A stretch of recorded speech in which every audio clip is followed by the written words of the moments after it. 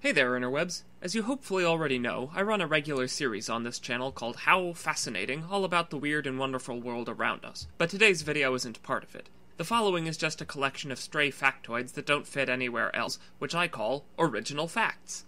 The diagonal line crossing a cluster of tally marks is called a pollex, from the Latin word for thumb. The small, broken pieces of spaghetti left at the bottom of the box are spaghettini. The English word homie has nothing to do with one's home. It's an anglicization of the French word homme, meaning man.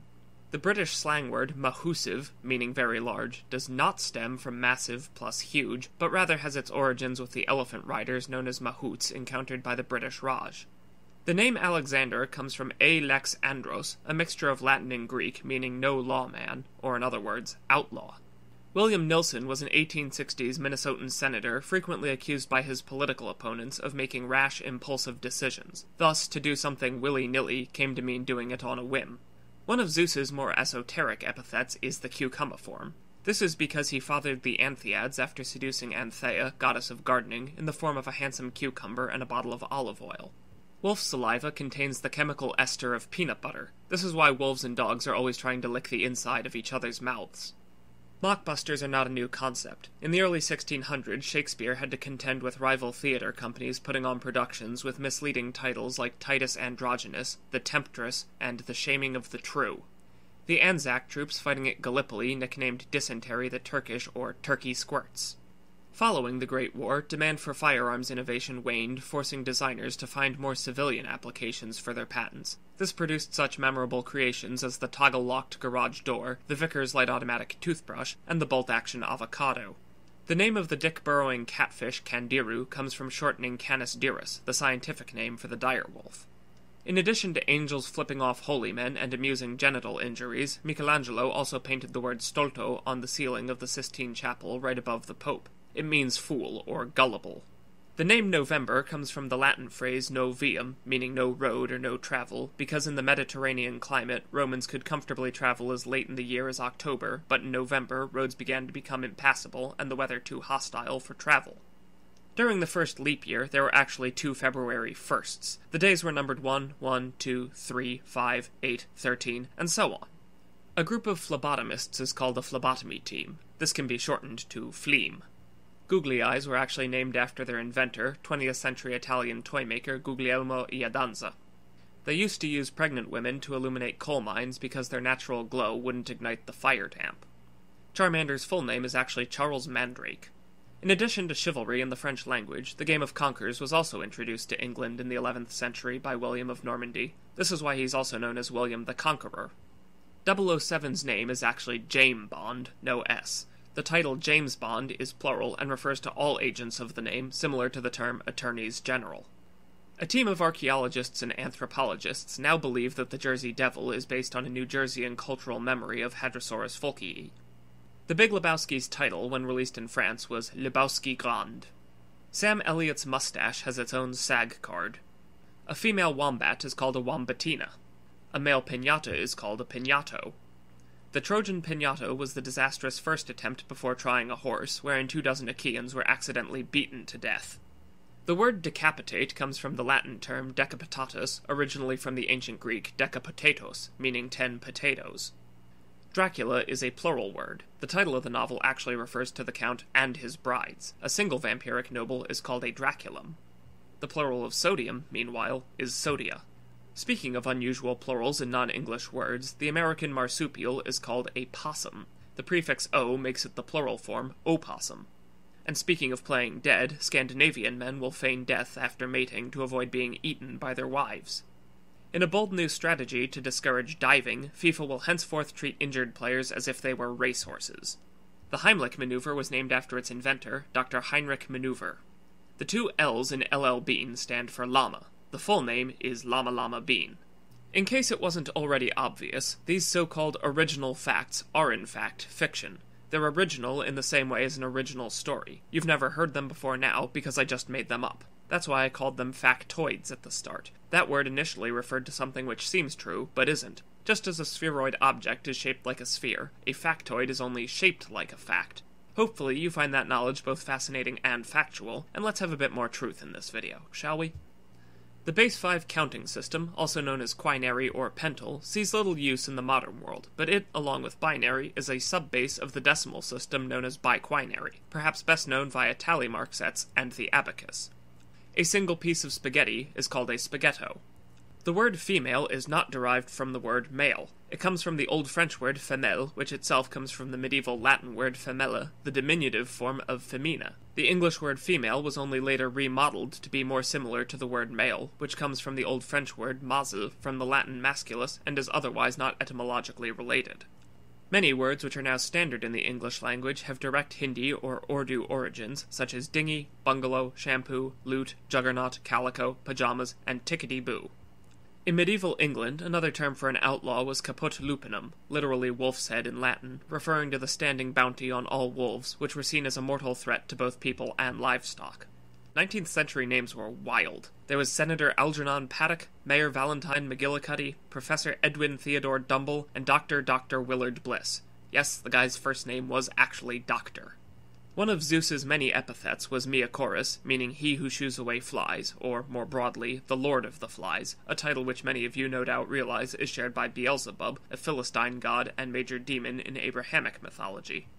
Wolves actually lick the insides of each other's mouths as a show of submission and respect and to strengthen social bonds. That being said, the urine of the maned wolf, which despite its name is not closely related to wolves, does contain a chemical cocktail which smells so strongly of skunky marijuana that it once got the cops called on the Rotterdam Zoo to investigate reports of the suspicious odor. The urine of the binturong, or bearcat, meanwhile, contains 2-acetyl-1-pyrroline, a chemical enzyme that smells uncannily like hot buttered popcorn, and the beaver's anal glands produce a substance known as castoreum, which contains the same chemical esters as raspberry flavoring.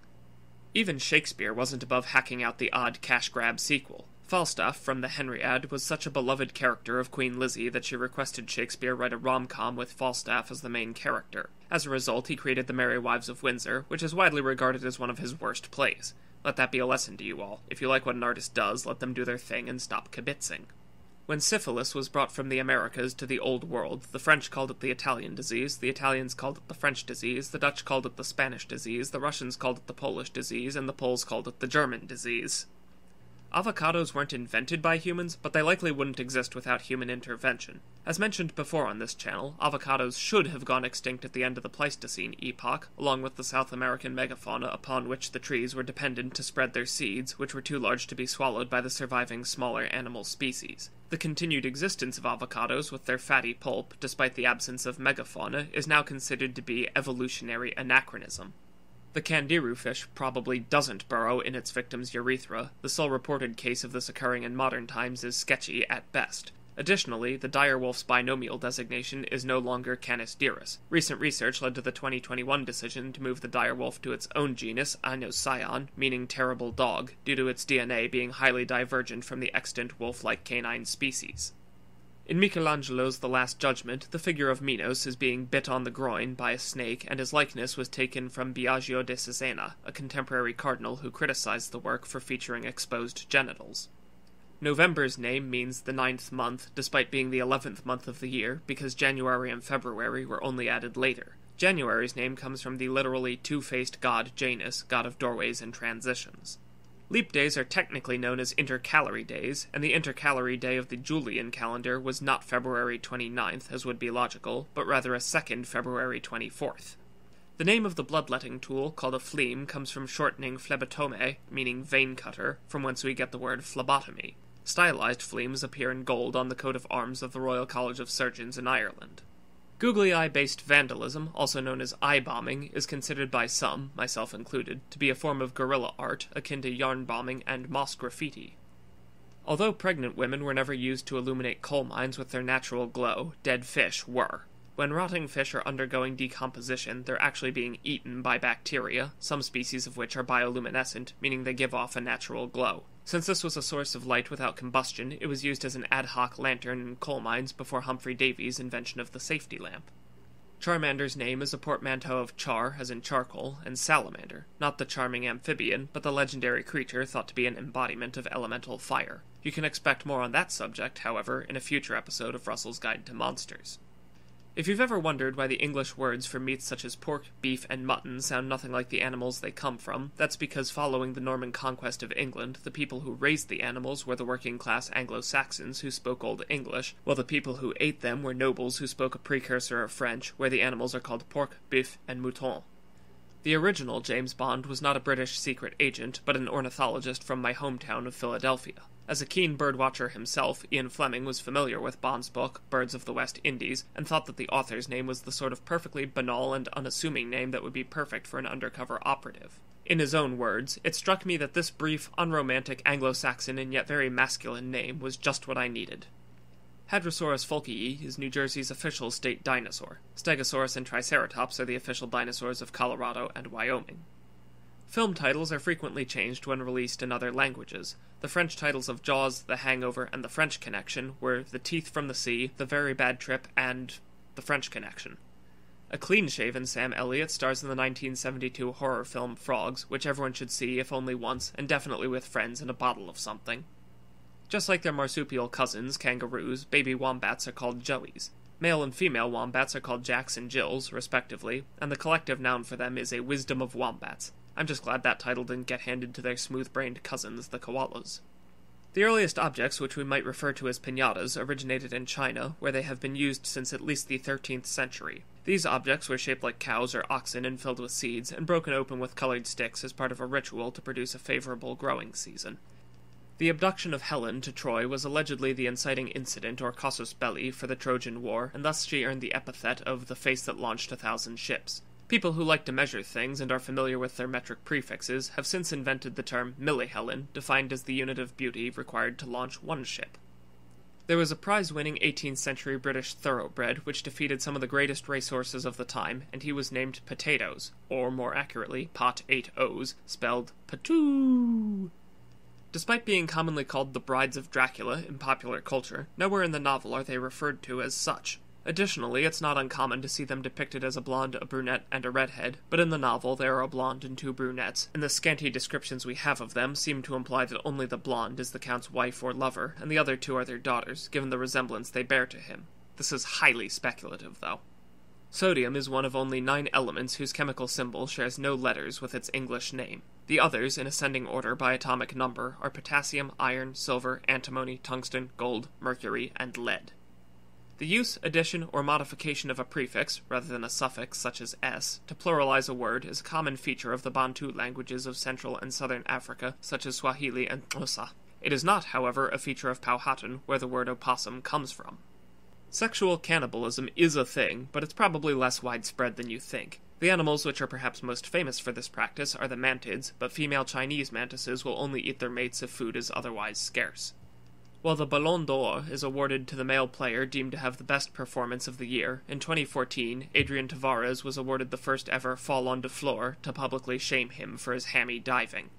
Dr. Henry Heimlich is certainly not a man without controversy, but he did also invent the flutter valve, a device which is credited with saving hundreds of lives in the Vietnam War. LL Bean is named after its founder, and the two L's in the name actually stand for Leon Leonwood, which is somehow even dumber than Llama Llama Bean. If you found any of these original facts to be believable, good. I'll remind you that I am a semi pro fiction author as a side hustle, and the fundamental core of fiction is getting people emotionally invested in a story which they already know is made up. Anyway, I hope you've enjoyed this little factual diversion, because all that remains is for me to say thanks for watching and have a nice April Fool's Day.